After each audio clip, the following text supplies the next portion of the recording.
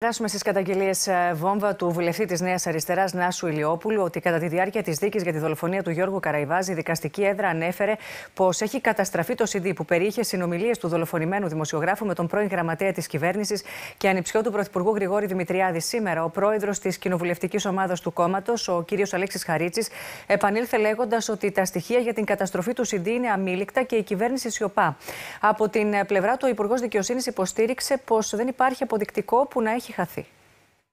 Νέες βόμβες στη Βουλή από τον πρόεδρο της κοινοβουλευτικής ομάδας της Νέας Αριστεράς, Αλέξη Χαρίτσι, ο οποίος κατήγγειλε ότι τα στοιχεία για την καταστροφή του CD, που περιέχει συνομιλίες του δολοφονημένου δημοσιογράφου Γιώργου Καραϊβάζ με τον τότε διευθυντή του Πρωθυπουργικού Γραφείου Γρηγόρη Δημητριάδη και τον τότε διοικητή της ΕΕ Παναγιώτη Κοντολέοντα, είναι αμήλικτα και η κυβέρνηση σιωπά. Μπορεί η κυβέρνηση να κάνει ότι δεν υπάρχει καταστροφή από όλη τη δικογραφία ενός και μόνο συγκεκριμένου στοιχείου.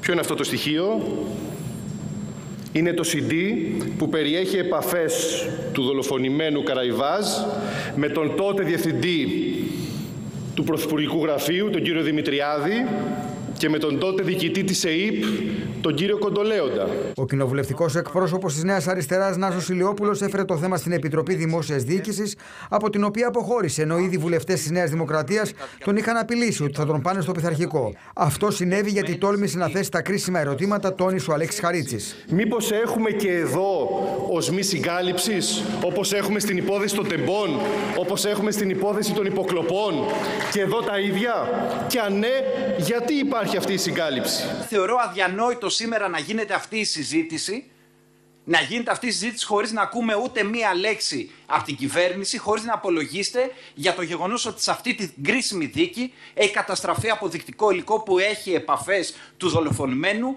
με τον κύριο Δημητριάδη, διευθυντή του Πρωθυπουργού και τον πρώην επικεφαλής της ΕΕΠ. Ο κύριος Ηλιόπουλος αναρωτήθηκε πώς γίνεται συνήγοροι της οικογένειας να λένε ότι έχουν το υλικό αλλά να μην το έχει το δικαστήριο, τι περιείχε, γιατί δεν έχει αναζητηθεί, αν θα γίνει πειθαρχική έρευνα, πώς γίνεται να διαρρέεται ότι υπάρχουν οι επαφές αλλά όχι οι διάλογοι. Αποδεικνύεται καθημερινά με τη στάση σας ότι είστε μια κυβέρνηση η οποία δείχνεται τουλάχιστον ανοχή στο γεγονός ότι η χώρα έχει παραδοθεί στο οργανωμένο έγκλημα.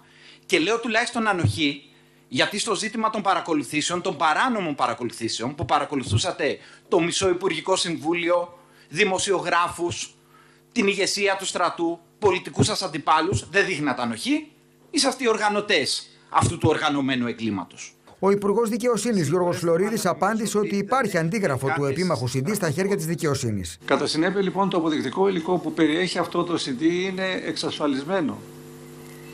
Και πιθανό, δεν ξέρω τι θα γίνει, αλλά από ό,τι πληροφορήθηκα χθες, από την πλευρά της πολιτικής αγωγής υπήρξε δήλωση ότι ε, το έχουν αυτό νομίμως όπως το έχουν όλοι και η διάθεσή τους είναι να το παραδώσουν στο δικαστήριο.